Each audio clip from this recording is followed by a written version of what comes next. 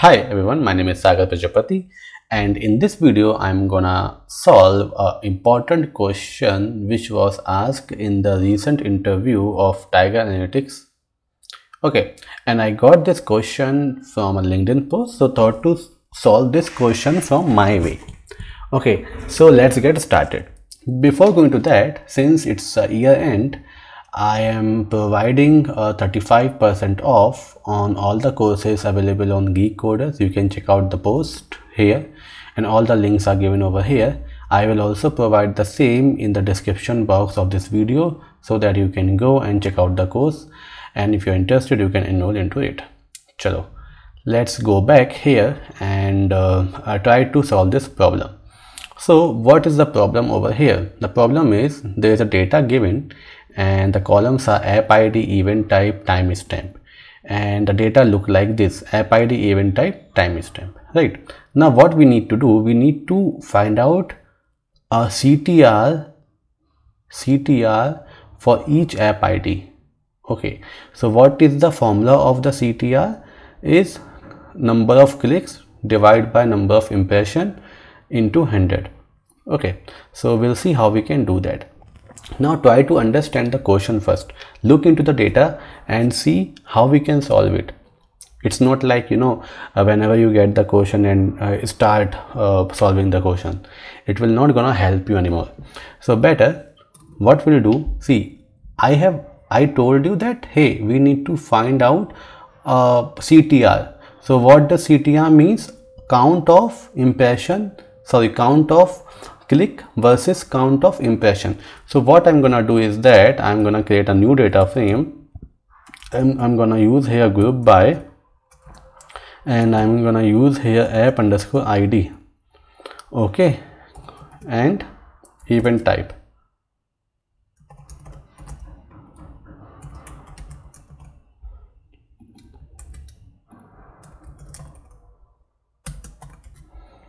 Nice now if I uh, hit the button you will see now we have like app id event type. So for each app id uh, for each event we have a count now. So for app id 123 event type impression we have count 2 for 123 app id uh, uh, event type is click and the count is 1 and so so so things right?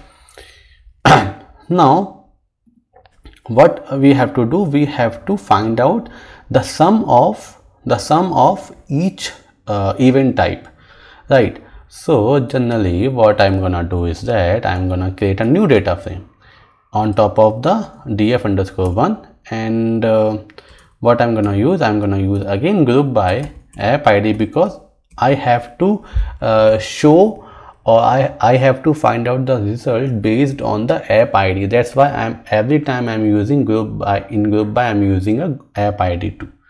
Now there is a function called pivot.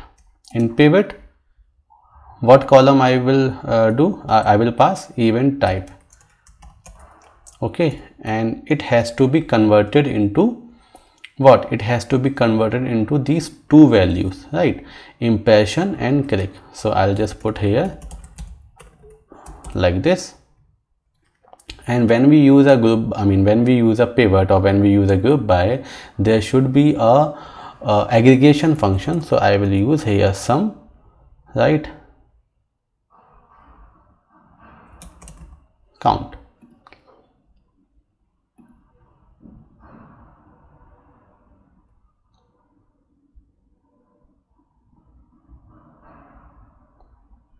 Okay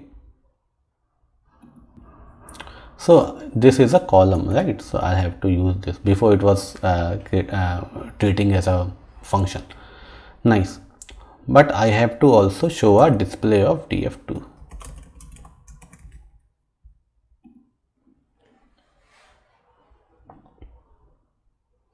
very good.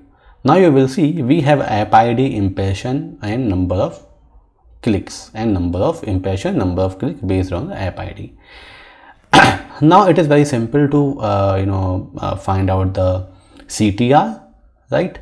So I will use df3 df underscore 2 dot group by uh, is it required group by? Group by is not required right? So i will use i will create a new column called ctr and uh, i will use click. So col of click divide by col of impression into 100 I hope this is only the formula.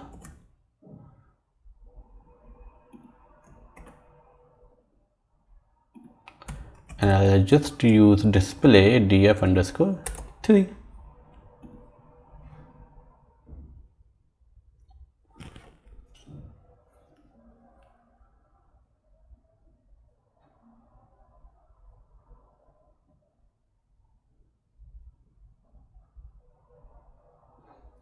now you can see we have the output. Now we do not want impression and click columns over here.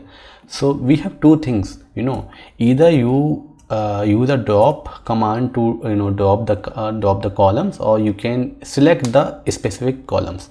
So for now you know i do not need it. So i can you know delete those columns impression and click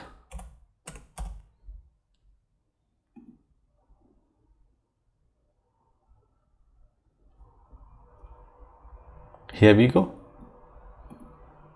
Right. Now if you want to uh, sort it based on CTR then you can also do it. Uh, it depends on you or based on app ID whatever. Okay. So I hope that you understood this question. And this is a very important question and you know you might you I, I, I believe that you understood the concept of pivot.